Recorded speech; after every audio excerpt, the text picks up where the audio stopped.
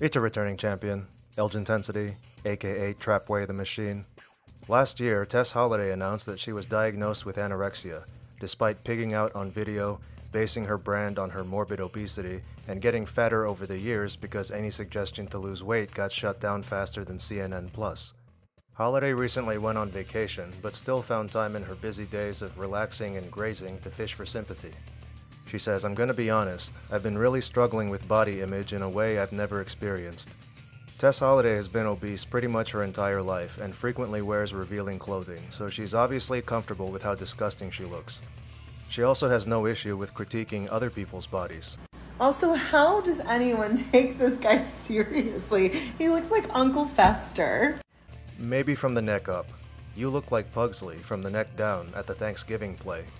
According to Holliday, you shouldn't comment on her weight, but she can comment on your appearance if she doesn't like you. Her logic's about as inconsistent as her heart rate. It's been almost debilitating because even though y'all see me out having fun, it sometimes takes so much work and energy just to be able to leave the house. Holliday posts pictures and videos of herself outside of the house almost every day, so her body image isn't debilitating. Of course, it'll take a lot of energy to move the weight of this NBA champion on the legs of this AKC champion. As a plus size model, her body image essentially paid for her house. Her body weight makes it hard for her to leave it. I'm the kind of gal that always wants my photo taken, until lately, and these are some of the first photos I've taken in a while where I saw myself in them and was kind. I'm working on it. She must have been kind in this photo because she hasn't caused any of those boats to capsize with her plus size. She eventually breached and landed on one though.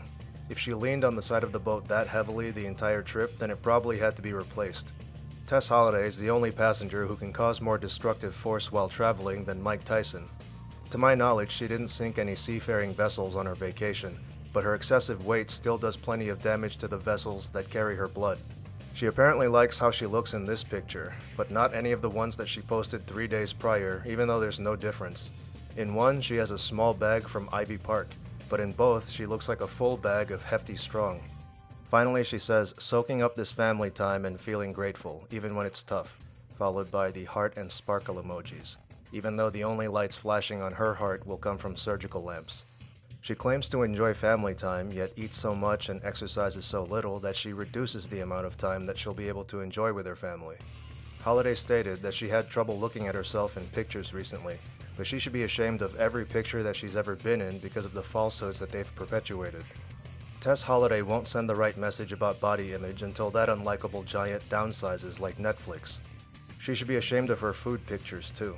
Earlier on her trip, she showed off one of her snacks, a pink champagne cake. One slice has almost 600 calories, but we all know she ate the whole thing. Unlike someone who actually has anorexia, Tess Holliday doesn't struggle to eat. When it comes to food, the only time a whale feels strain is when it filters krill through its baleen. Tess Holliday isn't a role model. She's an addict who refuses to admit that she has a problem, and an enabler who reduces life expectancies. Hopefully more people realize that the fat acceptance movement is a kind of herd mentality that makes you shit the bed.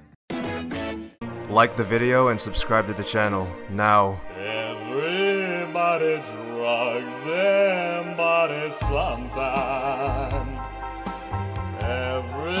sometime. Everybody tries the gear somehow.